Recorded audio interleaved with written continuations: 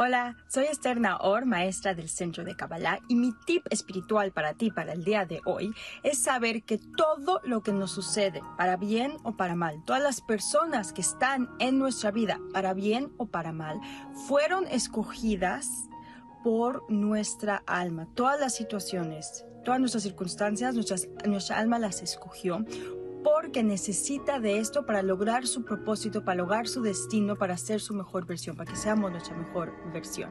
Así que la próxima vez que estés frente a una situación retante, a una persona retante o tengas emociones que son retantes para ti, pausa y pregúntate, ¿qué puedo aprender yo acerca de mí mismo a raíz de esta situación? ¿Por qué mi alma la habrá escogido? Y el simple preguntarte empezará a darte la respuesta. Que tengas buen día.